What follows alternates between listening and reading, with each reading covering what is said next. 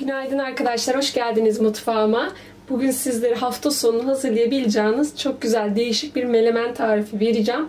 E, melemenin adı çakallı melemeni. E, bildiğim kadarıyla Samsun'un bir ilçesinin adı ve oradan geliyor bu menemen. Ve denedim çok güzel sonuç aldığım için sizlere de yapıp göstermek istedim. Muhakkak bir kere de olsa denemelisiniz. Çok değişik ve güzel bir menemen oluyor. Öncelikle e, malzemelerimi sıralayayım. Eğer acıyı seviyorsanız iki tane yeşil bir acı biber kullanabilirsiniz. Ben bir tanesini Charleston seçtim. Evde e, birazcık ezik domateslerim vardı. Onları temizledim. Siz 4-5 tane kadar orta boy domates kullanabilirsiniz. Kabuklarını da soydum.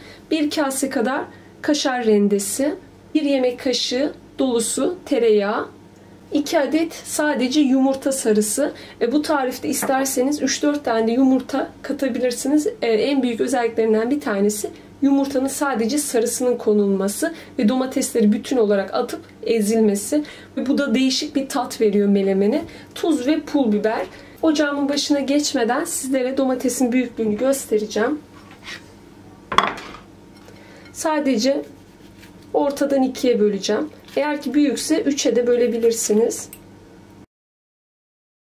Direkt bu şekilde tavanın içerisine atacağım. Menemeni yapmak için uygun bir tavayı ocağıma alıyorum. Ben böyle bakır kullanacağım. Ocağın altında yakıyorum. Bir yemek kaşığı tepeleme dolusu tereyağını tavaya koyuyorum.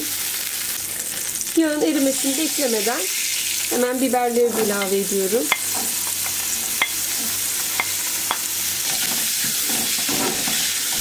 Biberler çok fazla kavurmanıza gerek yok. Öyle renginin falan değişmesini beklemeyin. Hafif yağla birlikte 1-2 dakika kavurmanız yeterli. Bu kadar kavrulduğu yeterli. Domatesleri içine atıyorum. Uygun bir kapakla kapatıyorum. Altını da kısa alıyorum. Ara ara karıştırarak domatesler tam anlamıyla ezilene kadar e, herhangi bir işlem yapmayacağım.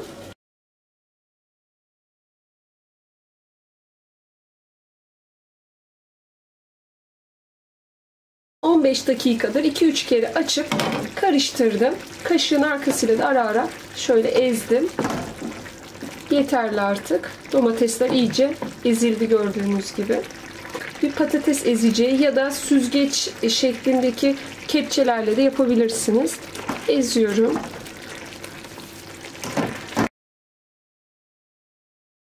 Yeterli. Tamamen ezildi artık. Tamamdır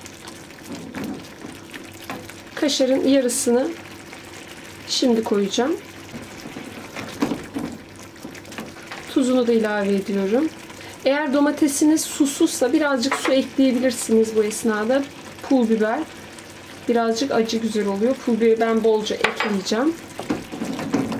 Karıştırıyorum.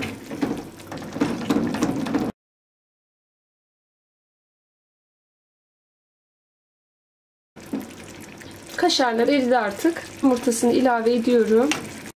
Karıştırıyorum. Bir iki dakikada yumurtayla pişirdim mi menemenim hazır. Altını kapatıyorum. Tekrardan üzerine.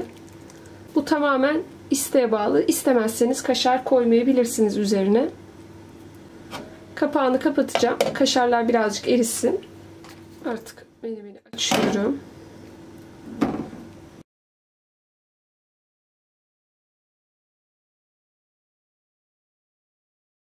Menemenim hazır.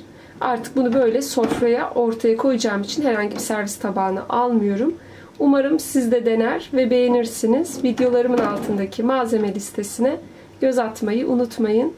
Eğer kanalıma abone değilseniz bu videodan sonra abone olabilirsiniz. Bir dahaki videolarda görüşmek üzere. Hoşçakalın.